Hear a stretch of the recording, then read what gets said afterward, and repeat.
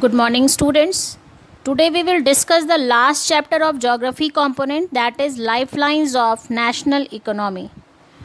The pace of development of a country depends upon the production of goods and services as well as their movement over space. Today, the world has been converted into a large village with the help of efficient and fast moving transport. Today, India is well linked with the rest of the world. Through this chapter, Lifelines of National Economy, we will see how modern means of transport and communication serve as lifelines of our nation and its modern economy. Transport Movement of goods and services can be over three important domains of our earth that is land, water and air.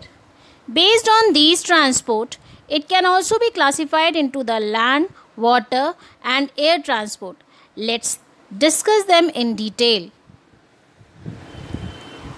Roadways India has one of the largest road networks in the world, aggregating to about 54.7 kilometers. The growing importance of road transport over rail transport is rooted in the following reasons. First, lower construction cost. Construction cost of roads is much lower than that of railway lines. Second covers more geographically harder locations that cannot be done by the railways. Third can be built on higher gradients of slopes. Roads can negotiate higher gradients of slopes and can be easily built in traverse mountains such as the Himalayas. Fourth, economical. Road transport is more economical. Fifth, provides door to door services. Sixth, provides link. Road transport provides link between railway stations, airport and seaports. Classification of roadways. In India, roads are classified into the following six classes according to their capacity. Golden Quadrilateral Superhighways. A network of highways connecting India's four top metropolitan cities, namely Delhi, Kolkata, Chennai, Mumbai. These highway projects are being implemented by the National Highway Authority of India NHAI. National highways. The national highways are a network of trunk roads.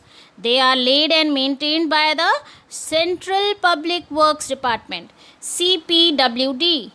The historical Sher Shah Suri Marg is called National Highway number 1 between Delhi and Amritsar. Other roads. Rural roads with which link rural areas and villages with towns, these roads received special impetus under the Pradhan Mantri Gramin Sadak Yojana. Border roads constructs and maintain roads in the bordering areas of the country established in 1960 for the development of the roads of strategic importance in the northern and northeastern border areas. Classification of roads on the basis of Material used for their construction. First, metallic roads made of cement, concrete or even bitumen of coal. All weather roads. Unmetal roads go out of use in the rainy season. Now children get ready for some questions. Question number 1. Who maintains the national highways? Question 2.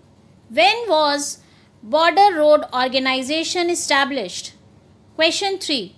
What are the two types of roads on the basis of material used for their construction?